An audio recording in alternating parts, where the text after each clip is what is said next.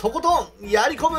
どうも、なおちんです。さあ今日もですね、妖怪学園 Y、ワイワイ学園生活やっていきます。チャンネル登録、高評価よろしくお願いします。それでは、行きましょう。今日はですね、ラントくんの変身、ディープシャドウギャラクシーの必殺技ランキングなどやっていきます。えー、まずですね、ディープシャドウギャラクシー、どんな必殺技があるか見てみましょう。まず、ユニバースブラスター、そして水星ランス、最後にオーロラスマッシャー、この3つですね。どんな感じなのか見てみましょうそれでは、まずはユニバースブラスターですね。ユニバースブラスターは、ちょっとね、マタロウの必殺技に似てるところがあるんですよ。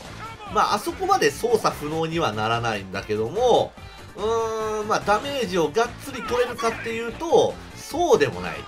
で、え暗闇にする能力があるんだけども、ボスには、まあ、効かないということで、えー、知っておいてください。ユニバースブラスター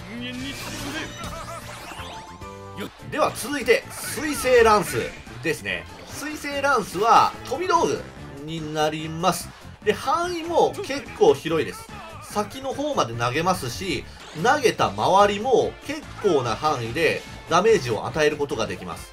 で、単発で隙も少ないので、まあ手法として使っていっていいでしょう。水星ランス。よし。では続いて、オーロラスマッシャーですね。オーロラスマッシャーは、えっ、ー、と、そこそこのダメージを8回打ち込む必殺技となっております。まあ、その場にとどまるので、そこそこね、隙はできます。そこそこの隙はできる。けどもダメージはね、悪くないぐらい全部当てれば、えー、与えることができます。ただ、うー待ち時間がちょっと長いかな。再使用時間が結構長めです。オーロラスマッシャー余裕ださあ、それでは、ディープシャドウギャラクシーの必殺技ランキング、いってみましょう。では、第3位。第3位は、ユニバースブラスターですね。えー、ユニバースブラスター、使いにくいです。使いにくい。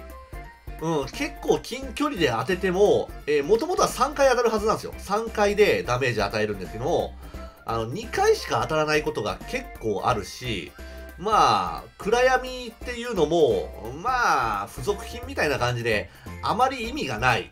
うん。なので、そこまで使えませんね。第3位は、ユニバースブラスター。で、第2位です。第2位は、オーロラスマッシャーです。オーロラスマッシャーね、ダメージは結構取れるのよ。結構取れるんだけども、まあ、雑魚戦ではそんなに使えないっていうのと、えー、再使用時間が長い。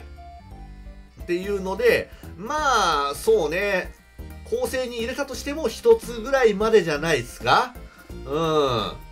やっぱそこまで使えない必殺技です。敵の隙がないとね、こっちも隙ができちゃうので。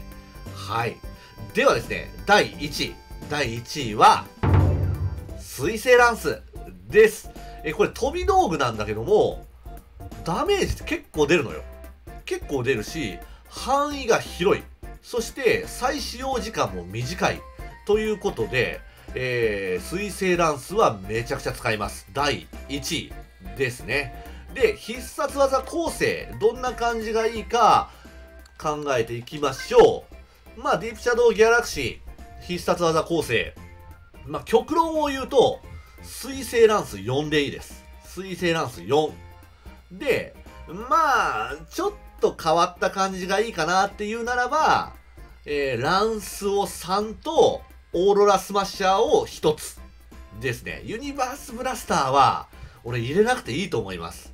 うん。まあ、とにかく、水星ランスが強いっていうことを覚えておいてください。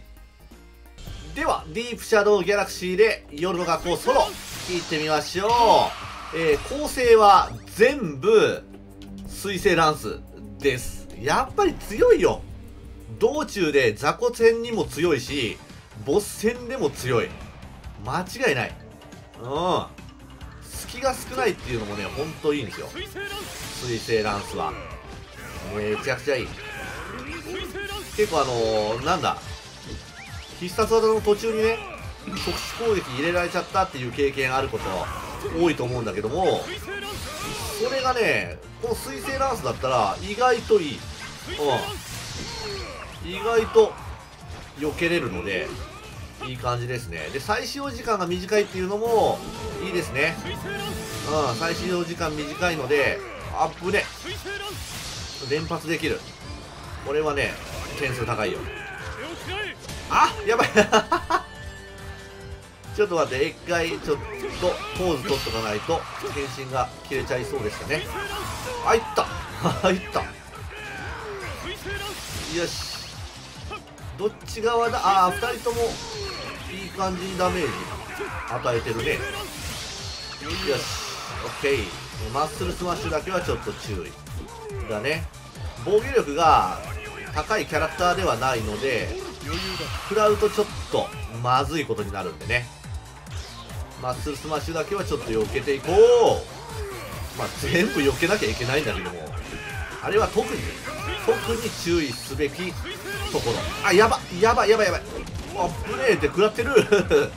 食らってる。3000か。やっぱなかなかのダメージやね。いや引っ張らずにもう倒す。あもう引っ張らずにね。倒しちゃいましょう。うんチャンス取らずに。いけるいける。やば。死んだ？あ死んでない。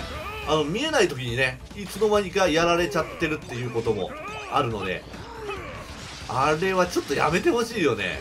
見えない時はちょっと無敵にするとかそういう風にしてもらわないと。俺辛いもん。はい、はい、あどっち売ってるの？